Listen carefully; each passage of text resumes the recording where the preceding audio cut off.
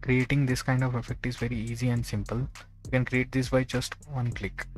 So let's see how we can create this effect. Open any browser and search Based Labs.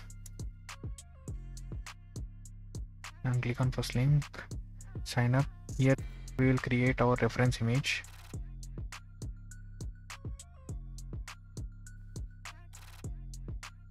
I use this prompt. If you want this prompt in text format just let me know in the comment section so here you can select number of images.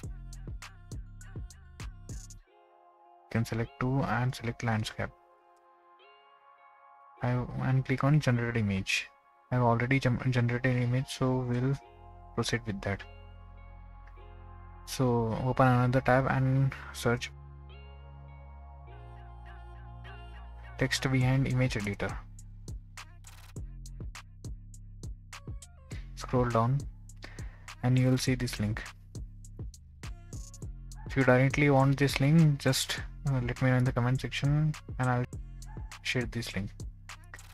So click on get started for free. Here you need to log in first then you'll get this option upload image. So I'll upload this image. Wait until the image is uploaded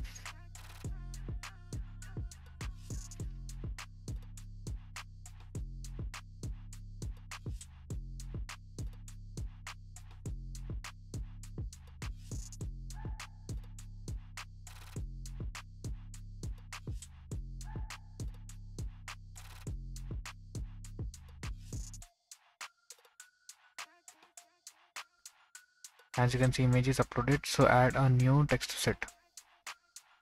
In order to edit this click on this edit text. Here I'll type my text. I'll change the font.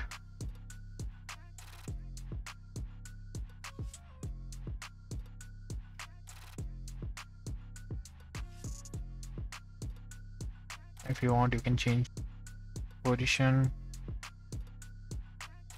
I'll increase the text size a bit. I'll reduce the text opacity to make it 0.5 as you can see creating this kind of effect is very easy. Try this and let me know in the comment section